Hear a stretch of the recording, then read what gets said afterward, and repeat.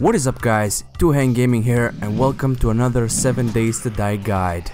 This time we will go over combat. Combat in 7 Days to Die is a tricky one. Try not to engage zombies in combat unless you're absolutely sure you will not be surrounded and slaughtered. Even a small group of zombies can kill you. Zombie attacks can stun you and multiple zombie attacks will stun lock you, making it very hard to fight back or escape. Alright, First of all, stone axe is not a weapon. Craft yourself a blunt weapon like a reinforced club or a bladed weapon like hunting knife if you have materials and a blueprint. Keep in mind that tools don't have a lot of entity damage.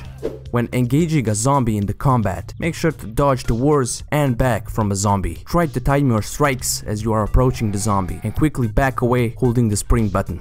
I will demonstrate. First, you slowly approach, swing, then back away as soon as you hit.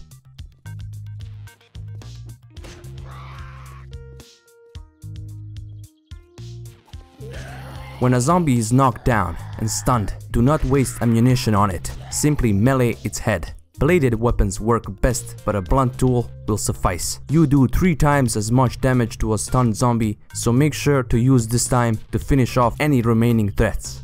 For ranged weapon, wooden bow is a must. To maximize damage on the zombie, make sure to land every attack on the target's head. Even if you don't kill it, you will deal much more damage than if you hit their torso or arms. Bow, crossbow, blunt and bladed weapons are silent and deadly, perfect for not drawing any attention. Crossbow and bow can be effective as other ranged weapons. I would recommend you to craft a wooden bow as early as possible. Arrows and bolts are very easy to craft. Materials for them are everywhere.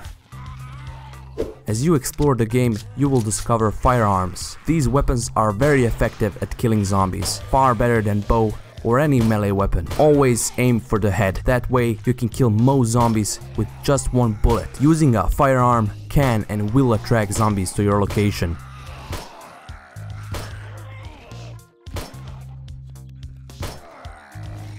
Alright guys, that is it for this guide. I know, it's a short guide. Leave a like if this video helped you in any way. Subscribe for more videos like these. That is all from me. See you in the next video. Peace out.